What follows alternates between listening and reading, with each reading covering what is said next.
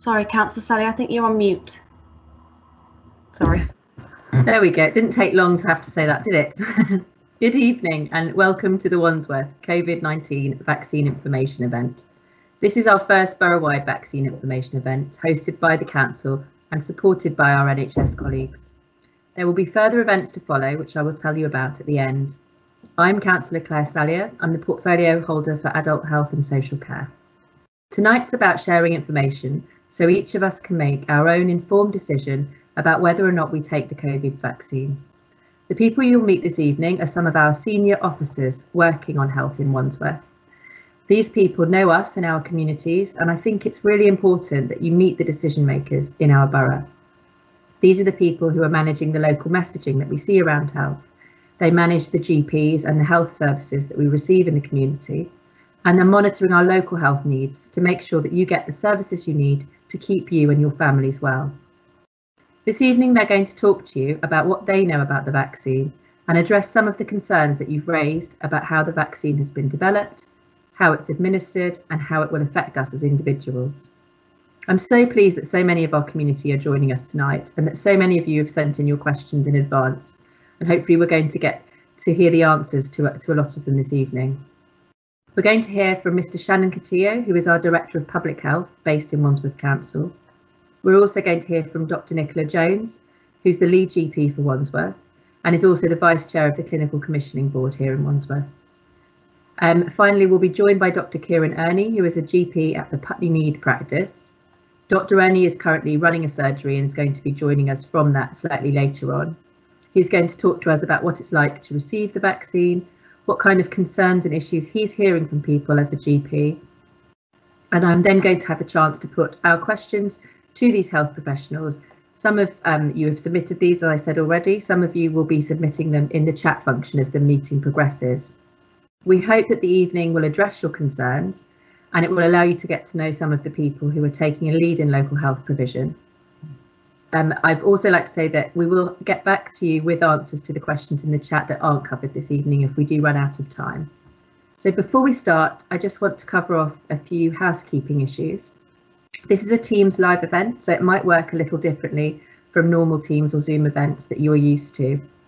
We can't see you, but we can see how many people are with us. And as I said, we'll be able to see the Q&A function, but we won't be responding to it directly this evening.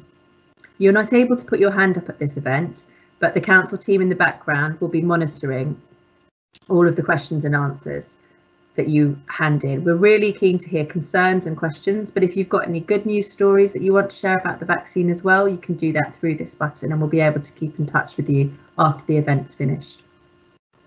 We're going to have the answers to all the questions that we are put tonight, including the ones that we answer in person, onto an FAQ section on the Council's website, and the details of this will follow after the call's finished. I ask that you're courteous and that you're patient when you submit your questions our staff want to make sure that you get the right information and the right answers, so they might not be able to give you an answer straight away this evening. If you don't see your question published on the screen, it doesn't mean that we haven't received it. It means that it's still going through the moderating function.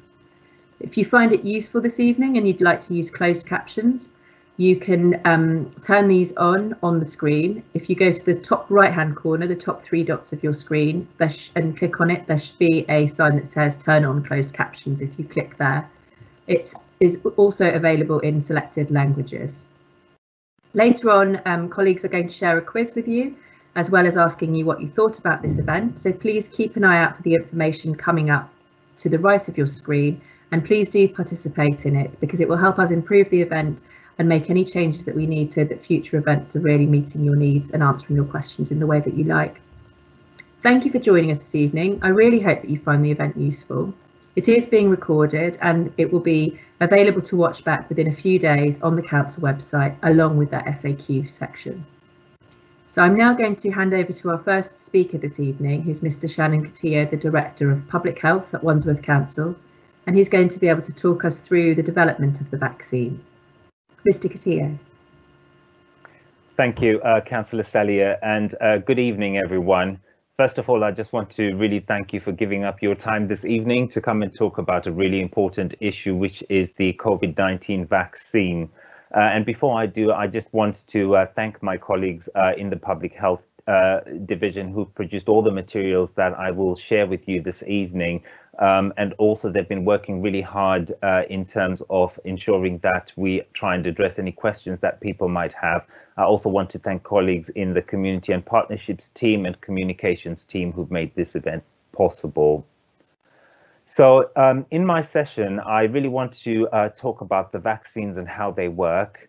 I intend to cover a little bit around uh, questions that people might have in terms of, well, why have they been developed so quickly? Uh, and I'll also talk about their safety, their effectiveness, uh, as well as who's getting the vaccines first and some of the reasoning behind some of that.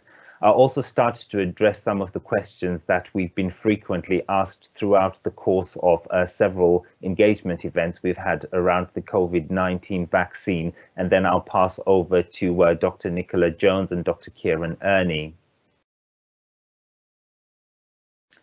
So until now, vaccines are probably something that most people don't really need to think about after childhood, you know, when you've had your routine childhood immunizations, or perhaps until you need to go on holiday to some kind of destination that requires for you to have specific vaccines.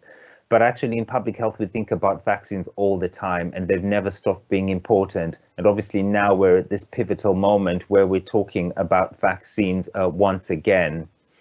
Now, the UK has one of the best immunization programs globally, and actually we're always at the forefront of rolling out new vaccines. And next to clean water, vaccinations are the most important intervention in terms of uh, promoting life and preventing disease um, you know, when in, in, when you compare to to any of the other interventions that uh, that we have around. So actually, vaccines are really important, and diseases that you know some of our grandparents uh, may have uh, used may may have feared in the past are probably diseases which uh, now are very rare in the UK and you know in some instances for example like polio they're consigned to the past entirely and people don't have to think about them. And obviously this is all thanks to vaccines. Now as we know from the pandemic there are many different ways of trying to stay safe and get protection against an infectious disease but vaccination is actually the safest way of doing that. Because once you've been vaccinated your body then learns to recognize the virus and it means that if you encounter it later on, your body is really primed to challenge that uh, that virus when it encounters it, and it should uh, the vaccine should help you develop a level of protection, which we sometimes call immunity against that particular disease. Now, some people might ask, you know, whether it's better to just acquire infection uh, and and uh, naturally as as a way of protecting yourself, but actually the answer to that is no the vaccine is the safest way because if you become infected, then you have a period where you're potentially infectious to other people. And for some of those people, the virus could have quite serious implications. And also that means you become part of the problem in terms of spreading the vaccine to loved ones or within communities where you live. So the vaccine is the safest way to uh, protect yourself because it actually can't give you the infection and it allows you to build up your immunity and build up your protection in a controlled way without passing the disease on to others. So what I have in front of you is a slide that just uh, tries to illustrate um, the problem of trying to stop a disease spreading in a population where not a lot of people have got protection or not a lot of people have had the vaccine. And you can see quite clearly that if you're in a community or a population where very few people have had the vaccine and are not protected, firstly, the virus can travel very rapidly uh, within that particular community to infect people, and also the potential for it to cause serious illness and potentially death is quite vast because you've got people who are completely not protected. But however, if you start to have uh, people being protected in a community and some of those people or a lot of them have had the vaccine, then quite clearly that limits the opportunities for the virus to spread within that community and cause lots of potential damage. So currently, there's still a lot of research that's taking place to see whether the current COVID vaccines provide this type of uh, protection and just how many people need to have the vaccine in order to uh, protect the whole community or the whole population. But the early signs are really encouraging and they're promising and they're showing a reduction in disease transmission for the COVID-19 vaccine. And actually there is a study called SIREN uh, conducted by Public Health England, which just recently published uh, some results around this on the .gov website.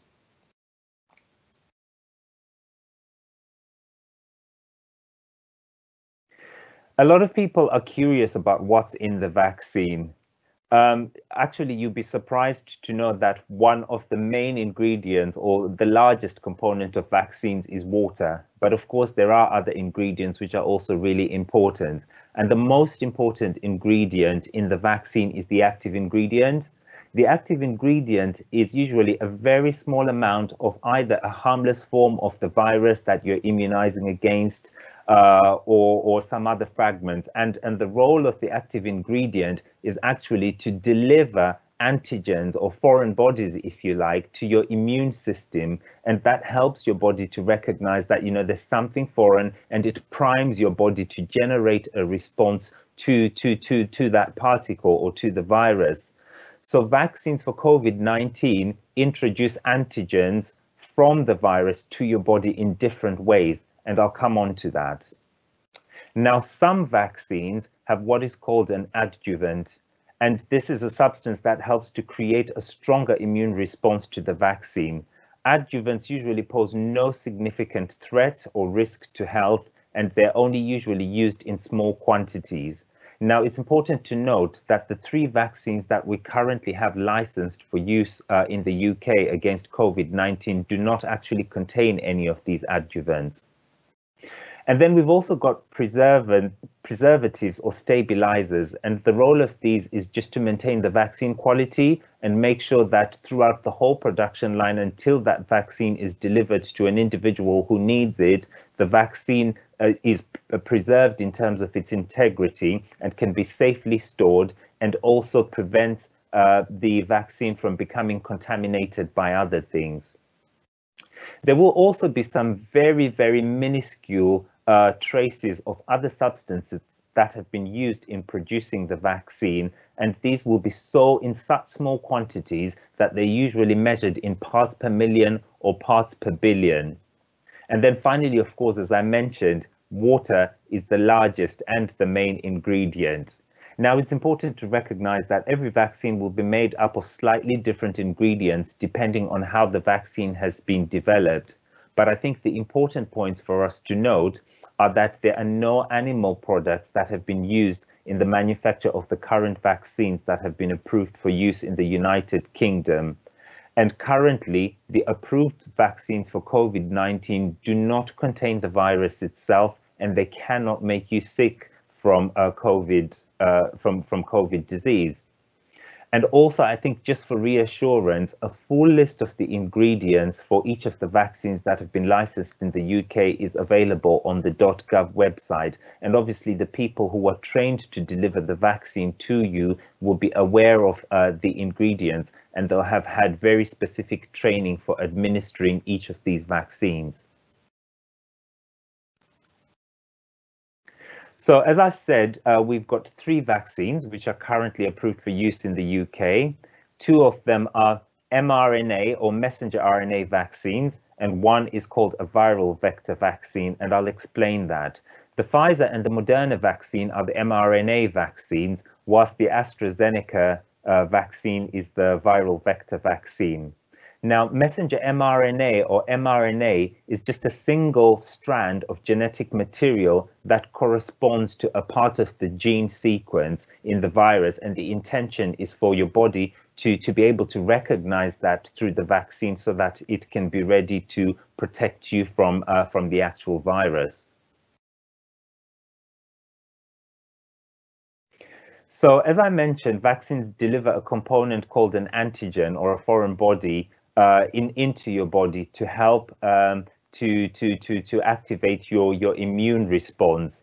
And uh, there are different types of vaccines that will be made up of either inactivated or weakened or modified virus or some kind of genetic uh, material which will prime your immune system. The key message uh, to take home is that messenger RNA vaccines do not alter your DNA. And in fact, uh, the mRNA that is delivered into your body by the vaccine cannot enter the part of your cells where your DNA is contained, and therefore they cannot alter it. And actually, that small fragment of mRNA quickly degrades uh, within a matter of hours uh, after the vaccine has been delivered into your body. So it does not interfere with your DNA. Now, some people will be asking, okay, is this new technology? How do we know it's safe? well, actually, this technology seems like it's new technology, but it's built on the back of many years of research. And mRNA vaccines uh, for have been around, for example, for some cancers and rabies, and they've been uh, developed through clinical trials and used in humans uh, safely for many years with promising results and no major safety, safety concerns arising. The Medicines Health Regulatory Authority, which is the body in the UK that's responsible for licensing the vaccines, has thoroughly assessed all the clinical data from all the trials that have taken place around the COVID vaccines, and they have deemed that these vaccines are all very safe and very effective um, in, in protecting people and preventing severe disease or reducing the risk of death. And actually, a lot of the clinical uh, trial data that came from these, these studies and the research used to uh, produce the vaccines have all been published um, in peer-reviewed medical journals, which are available uh, to, to, to members of the public and others to have a look at.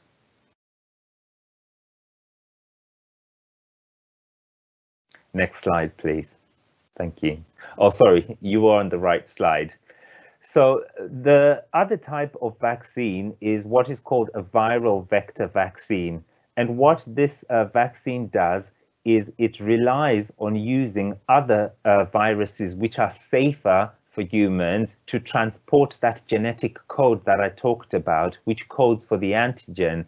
And so it relies on these safer viruses to transport that genetic uh, information into the body. And in the case of COVID-19, um, what it's transferring is a code for the spike proteins which are found on the surface of the virus and transports those into your body so that when your body does actually encounter the virus, then it recognizes those spike proteins. And again, your immune system should be primed to, to respond rapidly to that vaccine. Now, again, it's also important to stress that viral vector vaccines are not new, and actually they've been used in the past, uh, for example, uh, for preventing Ebola. And actually, they've been they were developed after many years again of clinical trials. So people will be asking, so uh, if it usually takes many years of clinical trials to develop vaccines, then uh, how come the COVID vaccines have been developed in a rapidly short space of time? And that's a really important question. Now, it does normally take several years to develop a vaccine, but in this instance, scientists have had to collaborate in a very different way to what they would usually do and very rapidly in order for them to achieve the same amount of progress just within a matter of a few months um, than they than they would have normally done in order for them to produce vaccines that are safe and that are effective, and, and also ensuring that those vaccines will be able to, uh, to, to be delivered to people as quickly as possible.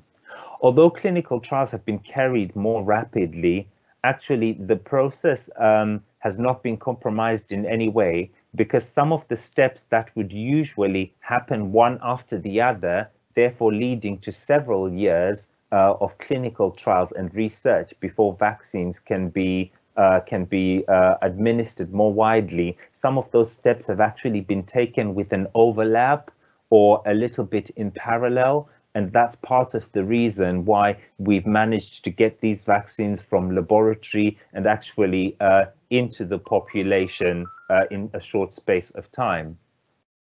So although uh, these steps have happened uh, quite quickly, obviously the Medicines Health Regulatory Authority and other research bodies have ensured that none of the uh, safety steps have been compromised in any way.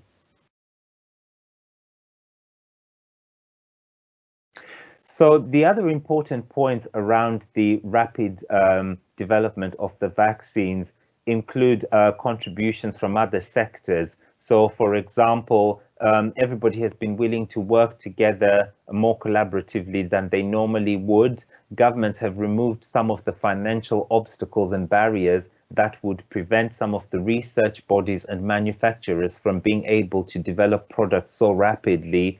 And also large scale manufacturers have exposed themselves and put themselves at risk because once they started to see the early signs that the vaccines were going to be effective, then they set up, you know, all their machinery to make sure that they would be able to deliver large quantities of the vaccines as soon as they uh, had the regulatory approval. And finally, of course, we can't forget the tens of thousands of people across the world who, as soon as they were aware that vaccine trials were happening for COVID, actually put themselves forward and put themselves on the line uh, to be tested as part of the clinical trials so that the vaccine could uh, quite quickly be made available and the trials were not hampered or delayed by the need to find volunteers. Now, uh, in terms of the priority groups and who gets the vaccine first, in the United Kingdom, we've got what is called the Joint Committee on Vaccinations and Immunizations. And this is the group that looks at the evidence base in terms of how the vaccines work to protect people and then come up with recommendations for the government in terms of the people that uh, should get the vaccine first uh, because of the ability to, to, to benefit uh, from the vaccine.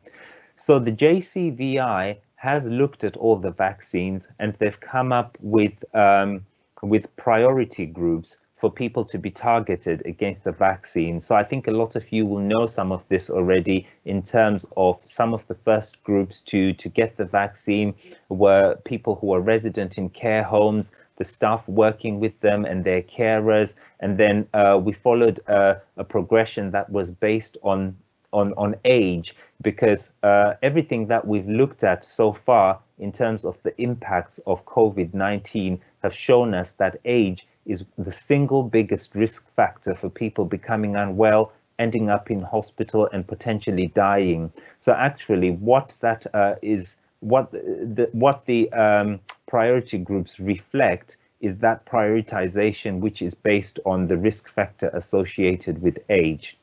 And I think uh, Dr. Jones will probably cover some of this uh, as well in terms of the priority groups when uh, when we come to to her presentation. So I'd just like to uh, quickly address some of the common questions that we've been asked uh, by by other people across the boroughs. And the first question is, can I get COVID-19 from the vaccine? So as I've mentioned, no, you cannot get COVID-19 from the vaccination. Uh, it is possible for some people that they might have caught COVID before they get the vaccination, and so they might then uh, develop some symptoms which uh, which are similar to those that you might have with the COVID-19 vaccine. But actually, the vaccine in itself it cannot give you COVID-19. Some people have asked us, well, if I've already had COVID-19, why do I need the vaccine? Well, the answer to this is that it's hoped that vaccines for COVID-19 will provide protective immunity that is long lasting and potentially longer lasting than the immunity that you might get from just acquiring the disease uh, naturally. And if you remember, we've also said that getting the vaccine is the safest way of protecting yourself against the virus because you don't know at the point where you get the infection whether you're going to uh, have particularly nasty disease uh, or end up with some very serious side effects.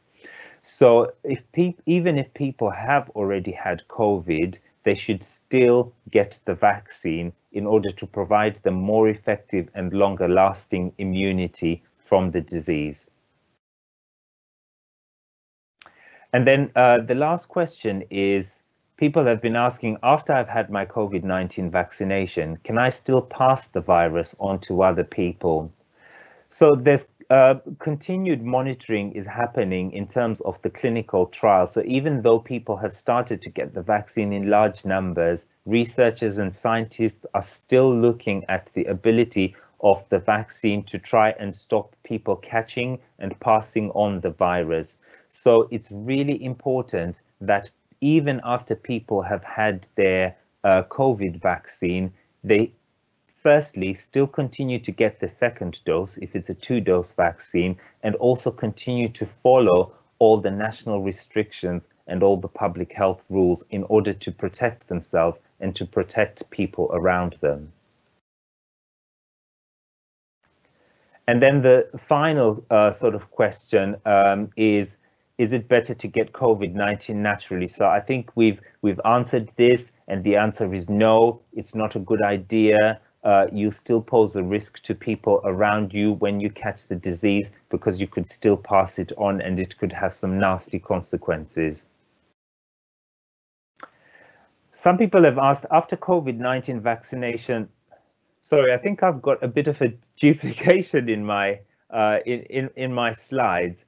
So I think what what I'll do now is um, I'll probably go on to to my last slide, which is just around uh, after the event. You've obviously heard that uh, we've got uh, an evaluation, a feedback form, and it's really important for us to get that feedback from you in terms of how useful uh, the event has been and how well we've addressed some of the issues and concerns. So please do go on to the council website. The link will be provided to you so you can provide that feedback. And just finally, before I close, I just also wanted to introduce uh, one of the members of our public health division, and her name is Asmat Nisa. Um, Asmat is one of the public health consultants um, in Wandsworth Council who has really been behind our effort to fight the uh, COVID response. And I just wanted to uh, introduce Asmat as somebody that you might encounter or someone that you might uh, have some liaison with if there are any further issues or, or questions where you need some public health input. Uh, Asmat, I don't know if you just want to say hello to everyone. Um, Good evening, everybody. Um, thank you, Shannon. Um, yes, I'm delighted to be supporting Shannon um, in the COVID-19 response um, by the council. I joined the council around October 2020 and um, delighted to respond to to any queries that come through our mailbox and we continue to um, we continue to put efforts in through the public health team and the response team um, with a view to um, supporting colleagues and also members of the public in understanding better some of the issues around um, COVID-19. So um, thank you, Shannon.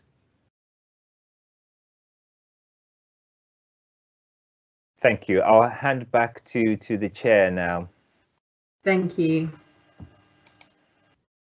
Thank you, Mr. Katiyo, and thank you, Dr. Nisa, as well, for introducing yourself. And our public health team are always available um, to answer any extra questions that you might have. Thank you very much for that, both. I'm going to hand over now to Dr. Nicola Jones, who is the GP primary care lead in Wandsworth, um, and she's going to take you through some of the COVID-19 vaccine information. Dr. Jones. Thank you, uh, Councillor Salier.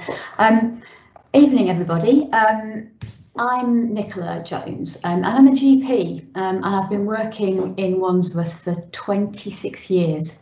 Um, so and as you can see from that title slide, I do a few other things as well when I'm not seeing my patients. So um, as Claire said, I'm the lead GP for Wandsworth, um, but I'm also responsible for the organisation of general practice across southwest London. Um, and when the vaccine programme came along, with much of it being delivered through GP practices, I became responsible for the primary care element of that too. But a lot of my time at the moment is taken with running the vaccine clinic at my practice, where three practices have come together to vaccinate their patients. So I've also got um, you know real life current experience of how all this is going. Um, next slide, please. And so, although we're still really only in the middle of the story, um, the vaccination programme has been already an extraordinary success. Um, it mobilised really quickly. Um, some uh, sites only had a couple of weeks notice of really you know getting going and knowing their vaccine was being delivered and they set it up from scratch. And people have been working really hard for three months now to make it a success. It's the largest vaccination programme in history um, and most of us feel somewhat exhausted but very proud of what's being achieved. So I want to say thank you to um, all of my NHS colleagues and our partners in the local authority and in public health particularly um, for the, um, the support and, and the joint effort that we've all made. Um, so over 70% of vaccines are being delivered at primary care sites by your local GPs, by their practice staff and by teams of volunteers. And we've had fantastic input from volunteers. Um, we've now offered a vaccine to all people over the age of 70 and frontline health and care so we've urged everybody over 70 who hasn't yet had an invitation for a vaccine to book their jab either through the National Booking Service, um, which you can um, get to online or by calling 119, um, or to call their GP practice. So at this stage, um, your GP would um, want to hear from you if you are over the age of 70 and you haven't yet had the offer of a, a, vaccine, or if indeed you declined it initially but have changed your mind, please do contact your uh, practice or the national booking line. So the first group of people vaccinated were the people who are the most at risk from having a serious illness if they contact um, contract COVID. So that meant that people over the age of 70 or those in the clinically extremely vulnerable group um, were the first to be offered vaccine vaccine and that clinically extremely vulnerable group are the people who were shielding and we're now inviting people who are over 65 um, or adults under 65 where they've got a condition, a health condition that might put them at higher risk of having a serious illness. Um, and these groups have been agreed nationally um, as advised by a committee known as the Joint Committee on Vaccinations and Immunisations, which is the committee that has advised and immunisations for many years. It wasn't set up specifically for COVID, so it was well equipped to deal with the kind of decisions that it's had to do. Next slide, please. So we're delivering the vaccine from seven general practice led sites in Wandsworth. And in recent weeks, um, there have been two pharmacy sites opened too. And there are plans for two mass vaccination sites as well in Wandsworth. Um, because as we start to vaccinate people in even larger numbers, this is going to be needed. Um, our GPs, although doing much of the organisation and delivery of this right now, need to be able to deal with people who need them for other health issues. And we'd want people to be able to access the vaccine in a place that suits them. So it's opening up into other venues, which I think will be really helpful in making sure people can get the vaccine. Um, next slide, please. So people who are known to their GP to have an underlying condition are going to be invited to their GP vaccine site. Um, and anyone in those groups now can also book through the national booking system. You see the link there um, and um, it's easy to find if you are uh, Googling it, just put in um, COVID vaccine and booking and up it comes. So we're not encouraging other people at the moment to come forward. And that's because we're still trying to get the vaccine to the people who are at the greatest risk. Um, and there's lots of interest and lots of phone calls to GP practices. So we do want to make sure that the people who need to can get through. So if you're not then um, it's not your turn yet, so um, please don't come forward. But if you think you've been missed, then please do. Um, but we want to encourage anybody who isn't registered with a GP practice to take this opportunity to do that because it may be that you're at high risk and that you would be offered the vaccine. And in addition, there are obviously other healthcare services that you might be able to access. And people aren't registered with a GP practice for all sorts of reasons, um, but it is something to consider at this point in time. So I'd really encourage people to do that. You don't need you don't need proof of address or immigration status. You just need to go to your um, GP practice and you can often do it online. Uh, next slide, please. So in the last week or so, um, more people across the country are being asked to shield against coronavirus. Um, so people have now been identified as clinically extremely vulnerable by um, the use of a, a different uh, way of assessing them. So not just because of the health conditions they've got, but taking account of other risk factors, um, including their ethnicity, their um, where they live, their um, uh, likelihood of being living in deprived circumstances, um, their body mass index, which is an assessment of your your weight versus your height and whether you're overweight or obese. So people in those groups and others um, have now been added to the group of people who are being recommended to shield, and the shielding advice is until the 31st of March. Those people should already have got a letter. Um, so I know many of my patients have, have um, been contacting us to say that they've now got a letter, but we already knew in the GP practice because we were notified of it too. Um, people who were already shielding, of course, they need to continue to shield until 31st of March as well. Next slide, please. So we want to, um, oh, one forward again.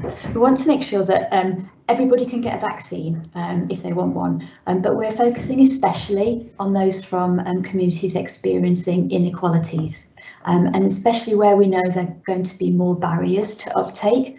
And as you can see from that map, um, these are some particular areas of concern in Wandsworth.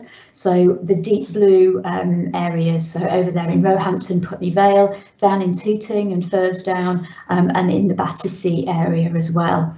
Um, so those are particular areas of concern and uh, within those areas especially we want to ensure that people who are older, who come from black and other high risk ethnicity backgrounds, people who live in deprived areas and also people living with a learning disability, um, we want to make sure people have good access to information and to the vaccine.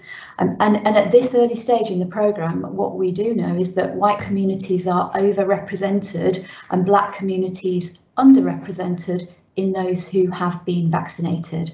So black residents make up 13.7% of the population in Wandsworth, but only 7.5% of those who um, have accepted an offer of the vaccine within the groups that we're um, currently inviting. So um, there's a much higher proportion of people coming forward from white um, and of Asian ethnicity. Um, so this is of real concern. Um, we want to make sure that people have um, the right opportunities. Next slide, please. So we're working in partnership with clinicians and local leaders to offer accurate and trustworthy, accessible information so that people can feel really confident in coming forward to getting the vaccine and so that they can protect themselves and their health. Next slide.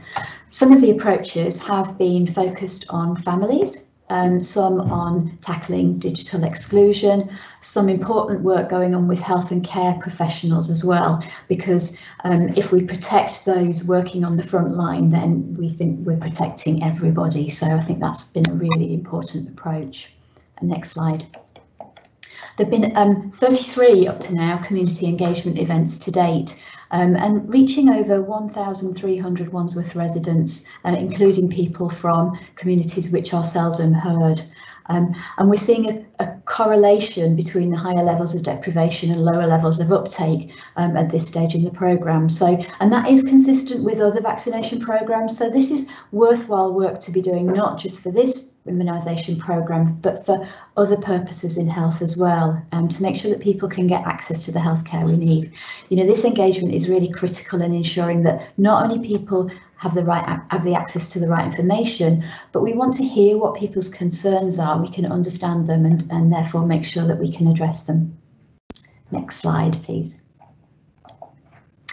So generally people have understandable questions about the programme, you know, given the speed of vaccine development and the rollout and a lot of the things that, that Shannon was saying are because of what we've heard people asking about. Um, but there have been some deeper concerns reflecting people's personal experience um, and also levels of trust in statutory organisations and you know people people like me who are here and saying oh everybody should get the vaccine.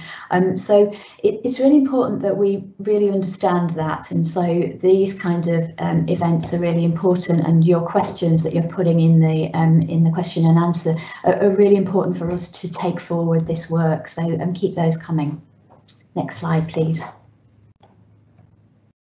So um, it's, it is really clear that, um, you know, there's lots of national and regional work being published um, because of uncertainty about the up uptake. And we've been trying to explore what those factors are, and they're really multiple and complex, and they can't really be distilled into, um, you know, just a few groups. There's lots of concerns out there. So um, to keep this support going, we're working with our local authority um, partners, voluntary and community sector as well, um, just to support access to the right information and, and verified sources of information for people. Um, we want to make sure that rumours are dispelled and that people understand what the facts are and that the benefits of vaccine. So I'm really pleased to have been invited to here today to talk to you um, and I'll be here a bit longer so we can answer any questions that come later. Uh, but thank you for listening um, and I'm going to hand back to Councillor Talia again.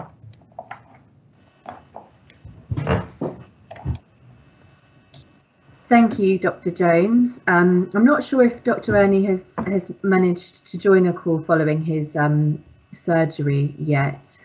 If I'm waiting to see, has he yes, joined? I have. Oh, you have. Okay. Well, then, um, thank you very much, Dr. Jones, and I'll hand over to Dr. Ernie then for his presentation. Thank you. Thank you very much, and thank you for inviting me to um, to speak to you. So I've been asked to talk a bit about the process that you go through um, when having a vaccine, you know, how the appointment's organised, what to expect at the site, uh, and also a bit about what um, to expect when you have the vaccine in terms of how you feel. Um, I'd like to say at the outset that being involved in the vaccination programme has been a, a really positive experience. Um, all of our lives are, are, are, very different and we've been affected in different ways over the last year, but we have all been affected. So to be part of a program that is hopefully going to um, protect the population and, and, get us back to the lives that we want to lead is a really wonderful thing to be a part of. So in terms of a bit of background, in November last year, um, GP practices were asked um, to work together to set up centres where we could vaccinate large um, numbers of, of our patients. Uh, and this was very different from the usual way that we run vaccination campaigns like the flu campaign, where we tend to work within our practices with just our practice patients. Um, so this wasn't something we'd done before and, and it took a lot of learning um, and a lot of work to, to get that up and running. Um, different vaccination centres uh, started at different times over December and January, and uh, the vaccine centre where I work um, started in January. So actually, we were able to use the experience of the sites that had opened um, before us to see what things had worked well and what might need altering when we set up our centre.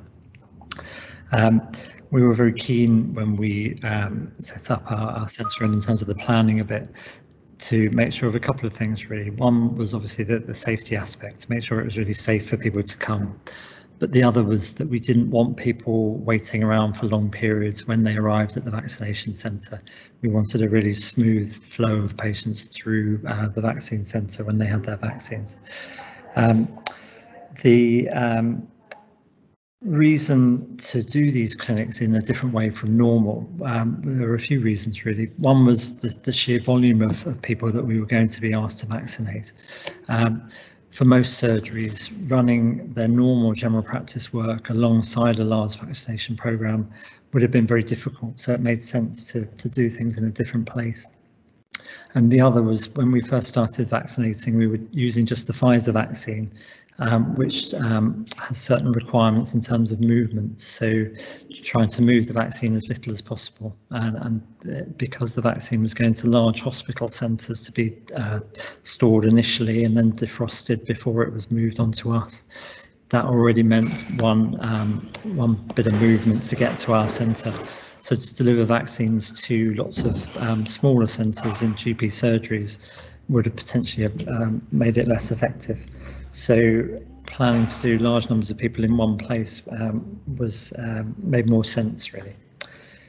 So in terms of thinking about what to expect um, in terms of the vaccine, um, it starts really with the invitation to have the vaccine.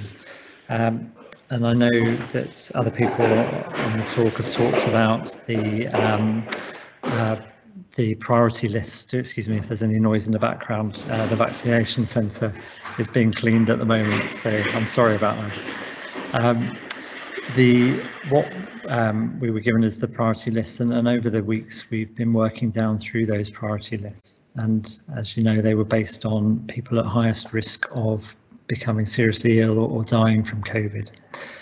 We have really good computer systems in general practice that can um, allow us to search for patients in those various priority groups.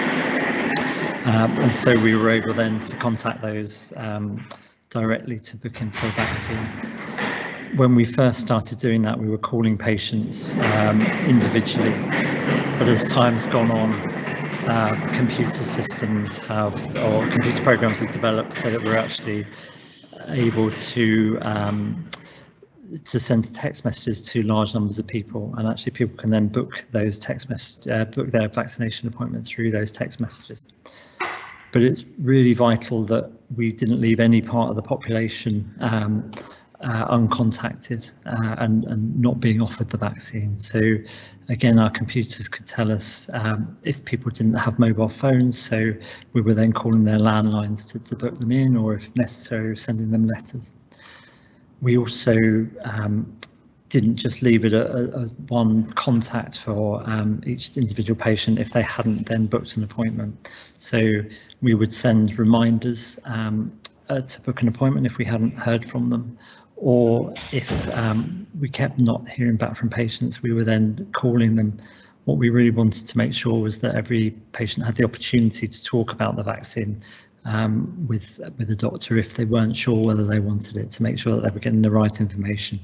Um, because actually we uh, all the the doctors that you've heard on this call and and we all know that actually it's it's the best way of protecting our population. So we were so keen to make sure that everyone was offered that um, it's also worth noting that to have your vaccine you do need an appointment um, so vaccine centres aren't running a walk-in um, now do rest assured that your GP practice will contact you when it's your time as they work through the vaccination uh, lists and the priority list, but they will be contacting you.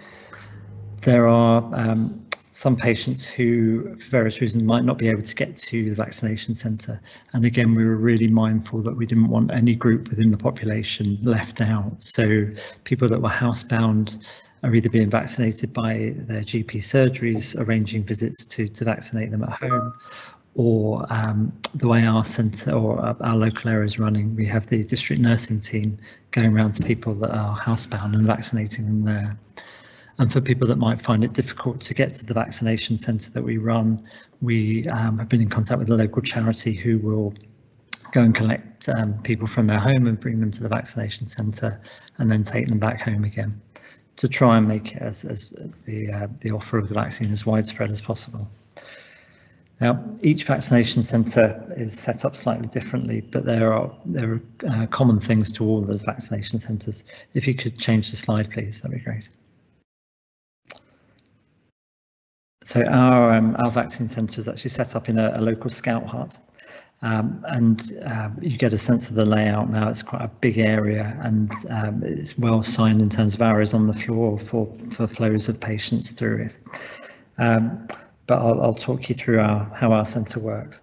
So um, when people are booked for a vaccine, they're given a time slot.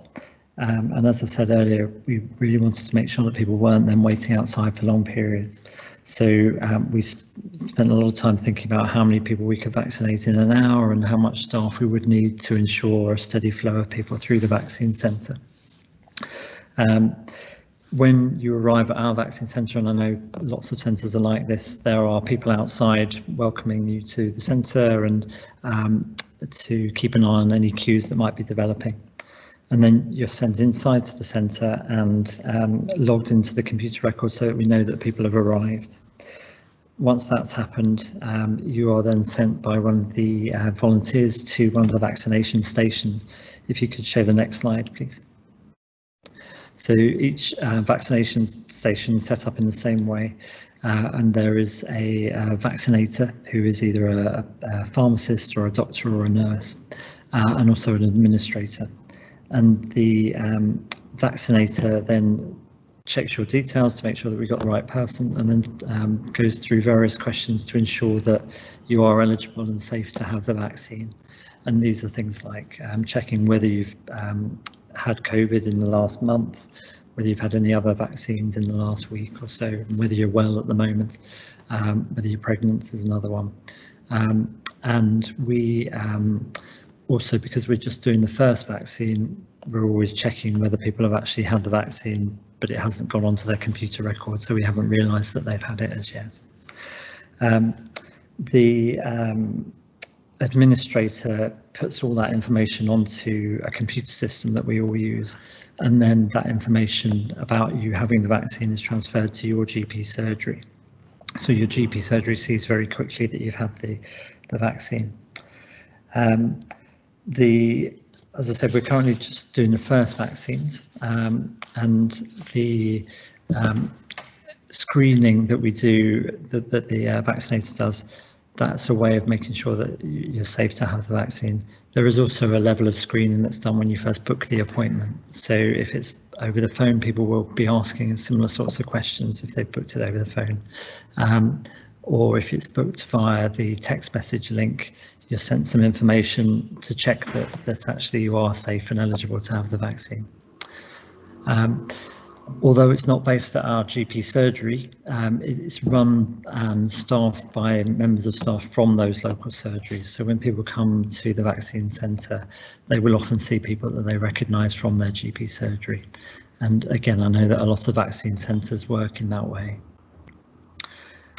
it was really important that we thought about measures to reduce risk of people picking up um, COVID when they were at the vaccine centre. So having a, um, a large group of people coming to one place, it was really important that we had good systems in place to make sure that was done in a safe way. Um, if you could um, show the next slide, please. Um, all staff that work at the vaccine centre wear masks um, and the vaccine centre is set out so that there's social distancing throughout both when people are waiting outside, that's part of one of the jobs of the uh, volunteer groups, uh, but also when you come into the vaccine centre, we're making sure that people are more than two metres apart and all the vaccine stations are set out so they're more than two metres apart. Um, all patients are encouraged to wear a mask unless there's a, um, a reason that they shouldn't for medical reasons and um, all the staff are uh, cleaning their hands between each patient with, with hand gel and then washing their hands every few patients. Uh, and if uh, patients have sat down for their vaccination, then all those seats are wiped down. With the, um, the Pfizer vaccine, um, people have to wait 15 minutes afterwards. And again, our centre is laid out so that uh, there is more than two metres space for each person um, or each chair in the, the waiting area at the back of our, our vaccination centre. The reason um, that people have to wait uh, the, the 15 minutes for the Pfizer vaccine was that when um, the national vaccination programme started, um, there were a few incidents of people having severe allergic reactions to the vaccine. Um, actually, as time's gone on, that's very clear that, that that's actually a very rare thing, but we still uh, ask people to wait the 15 minutes afterwards. Um, the um, so excuse me. Uh, the other thing I wanted to talk about was side effects that people have of the the vaccine. Uh, and they fall into a few groups really. The most common side effects are things either related to the site of the vaccine. So um, we give the vaccines into the upper arm uh, and sometimes people feel some discomfort in the arm for a couple of days afterwards um, and might have a bit of redness around the vaccination site. The other type of side effect that people can get are sort of uh, general symptoms uh, in terms of feeling a bit tired or, or achy or having headaches for a few days afterwards or having a mild fever. Um, really important thing to remember is that um, you can still develop symptoms of, of um, COVID after you've had the vaccine if you've actually been carrying the virus. So sometimes people are feeling well and they come for their, their COVID vaccine. Um, but actually after they've had it, develop the symptoms of the infection that was there before they had the the, um, the vaccine. So it, I think it's worth noting that if you do develop the classical symptoms of coronavirus, so a, a cough or a high fever or loss of sense of taste or smell or shortness of breath, that um, if that happens within a few days of the vaccine, don't put it down to the vaccine. get yourself a, a COVID, a COVID test and self-isolate until you know that result. Um, another thing that's important to note, and this may well have been said already today, but you can't get COVID from the vaccine. It doesn't. Uh, the vaccines don't contain the live virus. Um, so although you might feel achy, that's because our immune system has been stimulated by the, the vaccine, but it's not that the vaccine has given you COVID. Um, the um, when you've had the Pfizer vaccine or if you've driven to the vaccine centre and had the AstraZeneca vaccine, as I said earlier, we asked people to wait for 15 minutes. Um, and the um, once that's happened, once you've waited for 15 minutes, if you're feeling fine, then you can just just leave. Um, again, different vaccine centres work slightly differently. My father-in-law was given a cup of tea and a biscuit um, after he'd had his vaccine, uh, but I think that's quite rare. We we certainly don't offer that, I'm afraid. Um, the um, let me see. If you do get some side effects, um, the they, they, tend to be uh, very mild and um, are can be treated by simple medications that you can buy in the chemist. So paracetamol works very well. The vast majority of patients I've spoken to haven't had any side effects that have bothered them to any extent. Um, I had the Pfizer vaccine and had a bit of a, a, sore upper arm for a couple of days, but it didn't stop me doing anything, and that that settled. I didn't need any pain relief for that. Um, and as I say, that's been the um, the the main sort of reactions that people have had. The feedback that we've had from running the vaccine centre has been lovely, actually. Um, in general, people have been really happy with how smoothly it's run in terms of booking the appointments, but also having their vaccination on the day. And um, have talked about what a, a, positive atmosphere it is actually in the vaccine centre. People coming in are generally really happy and relieved to be having the vaccine. You often these, uh, certainly earlier on, these were people who hadn't been outside for a long time on in some cases. So actually people are really happy to be protecting themselves and their family, but also doing something to help the nation get back to, to, to working normally. Um, again, as I said earlier, we're currently doing first vaccinations and because of that, we're, we're not currently booking people in for their second vaccine. Um, but what we're saying to people is that they will be contacted by their surgery when that second vaccine is due. And we're doing that at, at 11 to 12 weeks at the moment some people may know of a small number of people who've actually were invited for their second vaccine in different centres and, and, might well have had that second vaccine. And that's because in the centres that started vaccinating early in December, the guidance at that time from government was to do the second vaccine after three to four weeks. Uh, so some people had that second vaccine. Um, in January, that guidance was changed so that um, it's gone to the, the, current level of guidance, which is um, have the second vaccine at 12 weeks. Um, I know it can seem a bit disconcerting not to be given a date for the second vaccine, but um, I would really sort of encourage you to, to um, you trust that your practice will contact you. We are so keen to make sure that everyone in the population is protected you know, to make sure that people are offered the first vaccine, but when they're due, that, that everyone gets that second vaccine as well. And so um, practices are constantly doing searches of their computer systems to work out when people are due and uh, who's eligible. So it's it's really unlikely that anybody's going to be being missed off on that. Um, patients often ask whether they'll be given the Pfizer vaccine or the AstraZeneca vaccine when they come for vaccination. Um, at vaccination centres, we're given very short notice uh, as to what vaccine we're going to um, be given at any particular time. So we're not able to tell people in advance what vaccine that they they will get. Um, what I would say is that we know that they're both very effective. I'm sure that's been discussed earlier today. And as more people are vaccinated throughout the country, more data is coming out about how effective the, these vaccines are. Um, going back to um, the concern that people might have been missed off their their practice list and, and haven't been haven't been offered a vaccine when they should have. Um, as I said earlier, do have faith in your practices. Um, but if um, another good source of uh, um, information actually about uh, which groups of the population are being vaccine, vaccinated is actually the news. The news is, is full of it and the news websites and you'll often get a good idea about what age groups or what um, illness groups are being offered vaccines at any particular time. But if you really feel that you um, have been missed and you're worried about it, just contact your GP practice. They'll be very happy to, to let you know. Uh, but as I say, I, I think you, you, can rely on the fact that they are going to invite you when you're due. Um, so, uh, excuse me. I think that that's it actually from me. Um, I've run out of pages in my talk there, so uh, thank you for listening. I hope that was helpful. Thank you very much, Dr. Ernie. Thank you. Very, very helpful indeed. Um, we're going to move on to sort of question and answer section of the evening. And I think a, a lot of this, the questions that I've seen so far have have been answered. Um, but let's let's start to have a little a, look through. We had quite a few on on why vaccinate and how how do the vaccines work. And I know Mr. Katiyo covered in in detail how a vaccine works and the contents of it, in particular that there's no animal products in these vaccines. But I wonder around the safety, if one of the clinicians um, would like to answer, how how safe are the vaccines to receive? Uh, how you know how how many allergic reactions have you seen in Wandsworth, or are there any kind of conditions where you absolutely should not be vaccinated?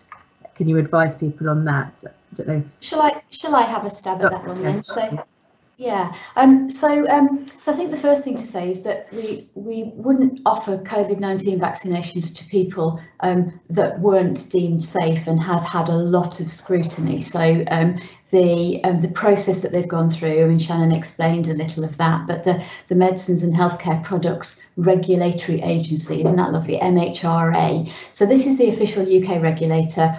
Um, that wasn't set up to deal with COVID vaccines. This is how all of our medicines are uh, assessed to be to be safe. Um, and they said that these vaccines have an excellent safety profiles um, and offer a high level of protection. So um, clinicians have you know really good confidence high in in um, in this and and in the MHRA processes and their judgment. So I think that's really important. Um, you know, there are checks at every stage in the development and manufacturing process. And one thing that this whole thing has taught us is about how to go through those processes more rapidly when it's needed. And this will help us for decades to come. So it's been um, really ex extraordinary. And we don't think corners have been cut to do this. It's just that we learned how to do these processes more rapidly. So um, it feels that, this, that it feels and seems that the vaccines are safe. Um, however, of course, you people get effects from vaccines. Um, and and um, Karen was describing the you know the sore arm um, and people who might feel you know slightly slightly unwell, um, maybe as if you're coming down with something and you know might need to have an early night and you know take a paracetamol and that kind of thing. And these are very common reactions: headache, bit of fatigue, um, sometimes some chills and body aches. So those are common things, but these aren't safety issues that you know lots of vaccines have these effects like the flu vaccine for example very commonly does and people are aware of that and come back for it year after year. Um, so um, so the allergy aspect of that is is um, it, but it's still evolving the understanding of this. Um, um, but you can have the vaccine um, if you have allergies in most circumstances. But there are a few people um, that we need to make sure that we are cautious about. Um, but if you have asthma and that's all you have, then um, you can have the vaccine. If you're allergic to something that you know about, if it's penicillin or nuts or some other kind of food, um, and you're aware of what the trigger is for your allergy, then you can have the vaccine because it doesn't have any of those constituents. Um, and, and Shannon showed a, a slide, didn't he, of, of the different constituents of the vaccine. There is one constituent in the vaccine called um, PEG. Um, oh, I can, I can never remember what it's called, polyethylene glycol or something like that. We call it PEG. It's really rare to be allergic to this. Um, but it does it is in lots of different medicines um, and preparations and so people that have this allergy tend to be allergic to lots of different things and they're usually well aware of that and may have been tested for it. So when we find someone who is allergic to lots of things and we're not quite sure about it, then we take extra care and ask the right questions um, and might even think about not having the vaccine right then until we've done a little bit more exploration and understood what's going on. And so if you're worried, I mean, you need to check with your doctor. I've seen some of the questions um, uh, that have been put in in the chat there about this. Um, but your doctor, your GP understands your medical history and your health. And so they really are the person to check with just to make sure of specific issues. Um, so everyone is asked questions when they present for the vaccine about these things, but if it looks complicated, then we have to take extra measures just to be careful. But think it's safe to say that there have been very few reactions. So of my 30,000 patients in my population, I've vaccinated five and a half thousand already. And um, we've had one case where someone had a, some redness around the arm area in addition to the usual aching. Um, and that's just um, you know interesting and we report it through the right medicine system. So this information is being gathered centrally so we get to understand more about the vaccines. Um, but it's been really quite minor stuff. And um, very important to say there have been no deaths as a consequence of the vaccine. Thank you very much, um, uh, Dr. Jones. That was very thorough. Thank you. Um, I also wanted, there's been quite a few on efficacy um, and sort of the issue around no vaccine gives you 100% um, cover. So I think that's one aspect. It's maybe one for you, Mr. Katiyo, but also the issue of the um, emerging strains of the of the coronavirus itself. You know, there's sort of some people are saying, well, what's the point? Will a new strain mean that it doesn't make any difference, or would would that be a clinical question or a public health question? You think? Uh, thank you. I'm I'm happy to uh, start on a response, and uh, obviously uh, Nicola and, and and Kieran could could add to that. So large trials have shown that the Pfizer vaccine, for example, was 95% effective. Uh, and then that the Oxford vaccine uh, after two doses was up to 82% effective. But I think the main take home message is that all the vaccines that have been licensed for use in the UK are on the basis of them being safe and being effective. So they're all highly effective. And even if um, you know, not uh, vaccines are not 100% effective. The, the ones that we have licensed have all got high levels of uh, of effectiveness. So I think that's that's the first thing. Um, and, and, and also just uh, obviously as uh, more people have had the vaccine, I mentioned that we've had uh, what is called the SIREN study conducted by Public Health England, which is actually starting to show us that in real world conditions, so outside of trials, the vaccines are demonstrating that high level of effectiveness in terms of preventing severe illness, um, and and also uh, potentially starting to uh, reduce the the number of people who will um, have uh, poor outcomes and potentially die from um, from from the virus. And then in terms of the uh, of the new new variants, I think scientists and researchers are still trying to understand uh, what the impact is of the vaccines that we currently have available on the variants.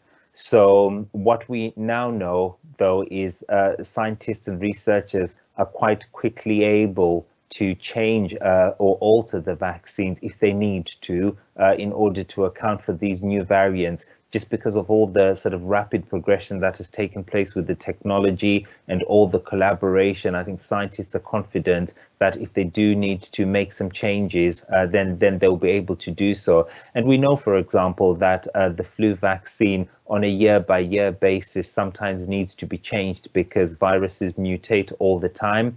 And some of it is about understanding the nature of the changes that have taken place in the virus and uh, working out, for instance, does it lead to more rapid transmission? Does it lead to more serious illness? Does it increase the risk of death? And researchers are looking at this all the time.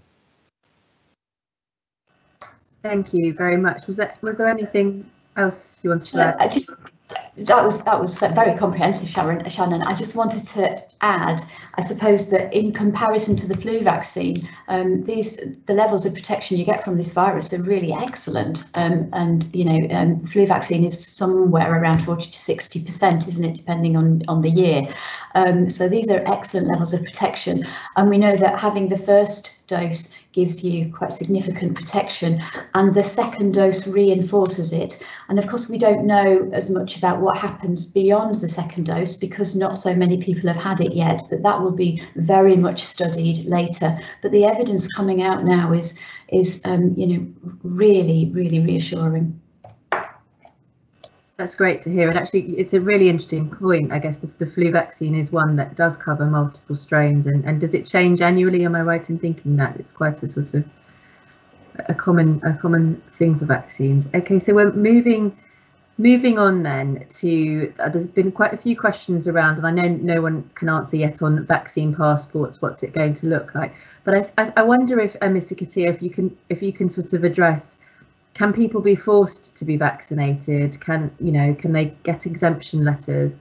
Um, or are there situations where people are being forced to prove that they've had the vaccine that you're aware of for employment purposes? Is there what's the, is there any legislation around that at the moment?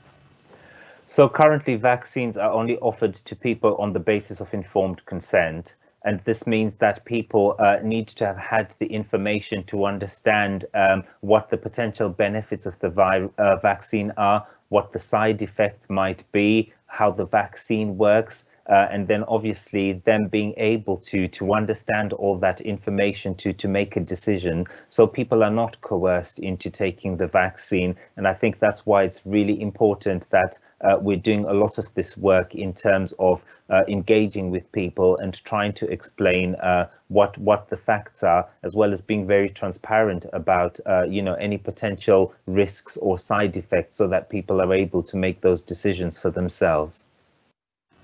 Thank you for that. And would it be possible, I wonder if one of the um, clinicians can answer, if, if you have concerns about it, you can make an appointment to see your GP and they'd be able to advise you or have that conversation in advance of booking in. Is, is that something you would be experienced and happy to, to do, Dr. Ernie?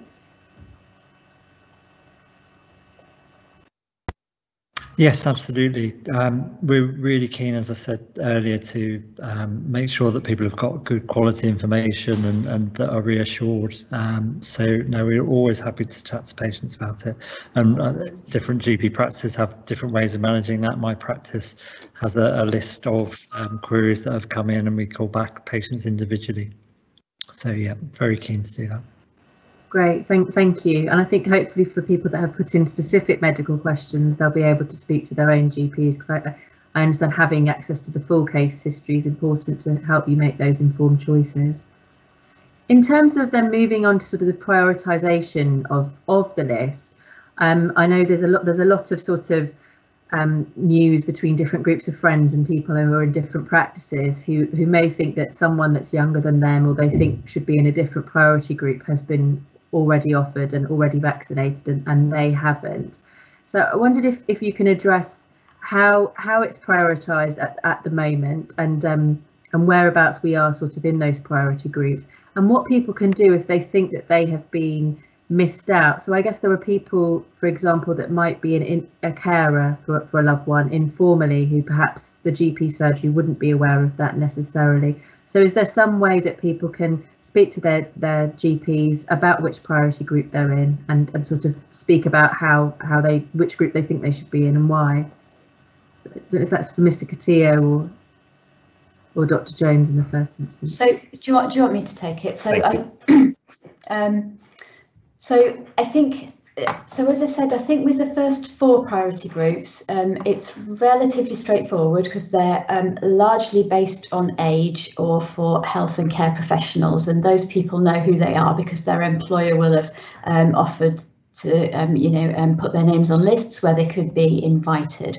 Um, it gets more complicated as soon as you get out of the age um, criteria, of course, which is why the national call off list is only based on age because they can't um, get access to the information about individual people's health in the way that the GP record is holding it.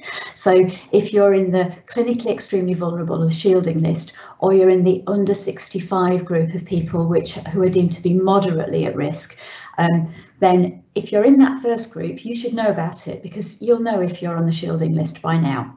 So if you think you should be in the shielding list, but you're not, then that's one thing we would want to make sure that you contacted your GP about. Um, if you are in the under 65 list um, and either you think you shouldn't be or you um, you're not or you're not being called yet um, and you think you should be, then it, it, gets a bit more complicated because actually there's quite a lot of people in this group and we're only a little way through calling them in. So it's perfectly possible that you just haven't been called in yet. Um, and if your practice is, is running from quite a small site with small population, they may have got though through that cohort more quickly than a bigger site, which is looking after patients from a, a wider population. So there might be a disparity in any one day um, with, you know, um, with people, neighbours who are at different GP practices who, um, you know, relatively similar issues, but one's been called in and not the other. That will all even out really quickly um, because we're expecting in Wandsworth to get through this cohort very soon. I mean, over the course of the next two weeks. So we're, you know, we're talking about a, matter of, of days or weeks difference in, in when people are vaccinated. Um, I think there's there's one concerning thing for people is when they're in that risk group and they don't know why. And we are getting a lot of calls in GP practices about that. Um, actually, it's taking up an awful lot of time, but you know we recognise that people are concerned. It's probably best to see if your GP has a messaging system on their website. Um, uh, some kind of emailing system just to put your query in because you know we wouldn't want to block up phone lines for people who are trying to get access to you know GPs or nurses on the day for example. So think about whether your query uh, could be handled in, in an email system. It also frankly gives the GP time to look at what the issues are. And sometimes it's a bit difficult to work out where some people have been called because it it could be something that happened to you in the past that you've recovered from forgotten about but it does give you that measure of additional risk that needs to be taken into account. Um, and some people have found out because they've been called in, they were really rather unexpect unexpectedly called in. Um, and some people are coming because they feel quite guilty about the fact that they've been called in before other people. And so we have that conversation too. Um, and sometimes it's justified, and sometimes, in fact, it's something quirky and in a medical record that um, actually probably shouldn't be addressed in exactly that way. And that's helpful to sort out. Um, but I, I do, I, you know, I would encourage people, of course, we want people's concerns to be addressed, but um, it, it might get quite overwhelming for general practice if people all start calling up. So think about the best way to contact your GP. If you can do it online, we would very much appreciate that. Thank, thank you very much um, for that. Um, we, uh, we, also have had quite a few questions. I, We're almost out of time, but I'll just try and, um, if you can address sort of um, people who might have additional sensory needs when they're coming for the vaccine or a learning disability. Are there any special sort of um, things that you are doing to accommodate those those people? Yeah, Kieran, Kieran might have some specific examples actually, but I've, I've um, we, we, I know that there's um, various approaches being being taken. Um, so we do want to make sure that people with learning um, disabilities um, are called because they are in a, a higher risk, at higher risk of having a poor outcome from COVID if they get it. So we do want to protect people and their carers. Um, so people should, if they're on the register in their GP practice if their GP practice is aware of their learning disability. And for most people, that's the case, then they will be being called in. Um, but it's um, it's sometimes important to assess on an individual basis how people could best access the vaccine. We've had people who've called who you know we wouldn't normally do a home visit for, but actually it's better if they're in their own home being vaccinated. And, and practices have been very receptive to that. And I know we've visited people who technically aren't housebound, but it would just be better to do the vaccine at home. So there's a lot of that kind of thing going on, um, which I think is really important. And there's also one um, Battersea initiative where um, GPs are going into um, some um, accommodation, some supported accommodation, so they can vaccinate all the residents at once. um, if they want to be vaccinated, um, and that's great because they're in their own environment where it's familiar and it's much more likely to be um, uh, acceptable to them. So um, various things going on there. Um, there's some um, work going on with um, supporting people, for example, those who are, are blind, and there's work with the London Vision and Sight Loss Council um, to reach out to those communities and, and provide the right materials to inform people, because I think that's one of the things is um, people might be quite willing to have the vaccine or unwilling to have the vaccine, but they may not have had access to the right information about it either way. You know, we wouldn't want people to come forward just to have the vaccine without understanding what's what's going on. I think that's really important as well. So we need we all want to make reasonable adjustments for people and make sure it's all accessible for them. Great, thank you very much. I see that there's another question that's come in, um, and essentially, give what they're asking is, given that originally you were meant to have the second dose three weeks after the first, and that's what it was originally licensed for, are you sure that the overall effectiveness of the vaccine remains unaffected if you have it after 12 weeks? So has changing the dosage space made it less effective is the question, I think. I don't know who wants to take that. Is um, so, Shannon, I don't know if you've got evidence at your fingertips um, on, on this, but I think that so for the AstraZeneca vaccine, mm. actually it's better to have it later. What we know is um, that actually the licensing originally was for 28 days and up to 12 weeks, and the efficacy seems to be better if it's approaching 12 weeks rather than earlier. So that's that's a win. The Pfizer vaccine was um, originally meant to be at three weeks.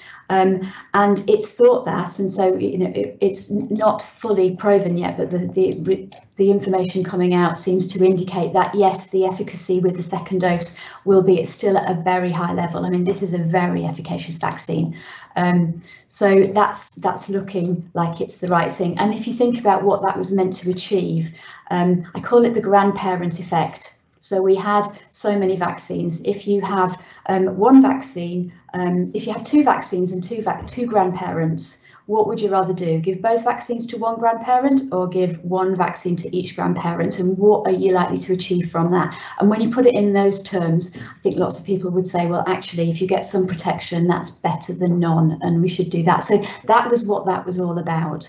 Um, but it luckily doesn't, well, not luckily, I think it was anticipated that it wouldn't have a hugely detrimental effect on the overall efficacy. But you know, this stuff is, is it is all still emerging. Thank you. Mr. Katiyo, did you want to add anything? No, I think uh, Nicola explained that beautifully. I can't add anything to that. Thank goodness. Yeah. well done thank you very much. I, I, think we're out of we're out of time now. Um, in terms of questions, there are other um, questions that have been submitted, and I'm sorry that we haven't managed to get round to them. Um, but what will happen now is that the team will go through the Q&A um, and make sure we get an answer to every one of, of, of your questions, and they will appear on the website. I also hope that you managed to complete the quiz that was shared with you this evening. Um, if not, we'll share it again and we'll be keen to know your responses to it. In addition to the quiz, we would also ask you please if you could complete the evaluation of the event and a link is now going to be in the Q&A tab for you to click on. And if you can complete this, it just gives us a little bit more information about what sort of things you need from us to help you make an informed choice on the vaccine. I'd like to say many thanks to Manuel Button from Wandsworth Community Transport, who's joined our audience this evening. Uh, the service that his team are providing includes sort of the free transport to and from vaccine centres for residents with mobility issues. They can take wheel a wheelchair or provide one if you need it. So it's, it's an amazing service and thank you very much for providing it. If anyone needs to know any more about it, there are details in the Q&A link in how you can get in touch with Wandsworth Community Transport and Manuel's team to book in to utilise this. So tonight you've listened to the views of health professionals. I hope you've gained some reassurance and some more information that are going to help you to make the right choice on the vaccine. We're going to have a further event on Saturday the 20th of March which will invite people to submit their questions about the vaccine to a panel of informed local leaders. We'll share some more information about that with you nearer the time and I hope that you can join us then and perhaps ask anyone you know who's yet to make up their own mind about the vaccine if they would like to come and take part. I'd like to thank you all for taking the time to join us this evening A big thank you to all of our presenters, Mr. Katiyo, Dr. Jones and Dr. Ernie. Thank you very much for taking time out to come and talk to people and explain um, the, the importance of, the, of taking the coronavirus vaccine. Um, thank you also to the team behind the scenes who have been keeping us all to time and helping troubleshoot all the tech issues.